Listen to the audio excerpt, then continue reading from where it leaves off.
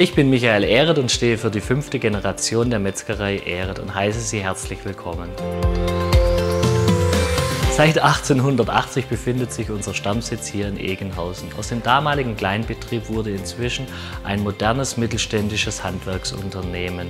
Von hier aus beliefern wir unsere Filialen und Kunden mit täglich frisch hergestellten Fleisch- und Wurstwaren. Seit jeher legen wir größten Wert auf Qualität und Frische.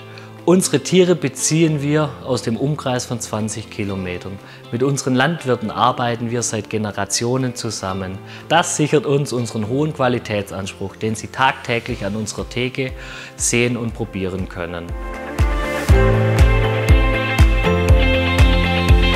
Bei uns wird nach alter handwerklicher Tradition unsere Wurst- und Schinkenprodukte mit naturbelassenen Gewürzen, viel Liebe und Fleiß hergestellt.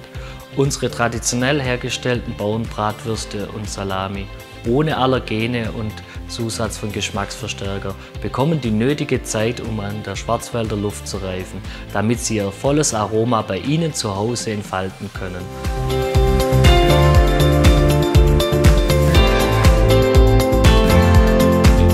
Schauen Sie doch einfach in eines unserer Geschäfte in Egenhausen, Epphausen oder Pfalzgrafenweiler vorbei. Einfach genial lokal.